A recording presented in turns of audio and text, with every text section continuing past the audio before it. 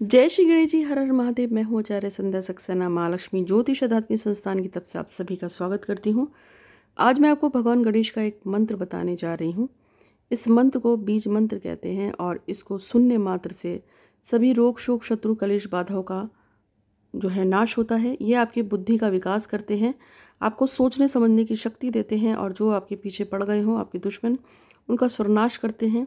आपकी कोई दिल में ख्वाहिश हो, जिस मनोकामना को आप पूरा करना चाहते हैं, उस मनोकामना को पूरा करते हैं। और सबसे बड़ी बातें हैं, ये सभी तरह के बाधाओं को नाश करने वाले और सभी दुर्भाग्यों को नाश करने वाले हैं। भगवान विघ्नहर्ता श्री गणपति महाराज। और आज मैं इन्हीं की आपको मंत्र बता रही हूँ। चलते फिरते, उठते, जागते, बैठते, सोते, कभी भी आप इसको हेडफोन पे लगा के सुनिए।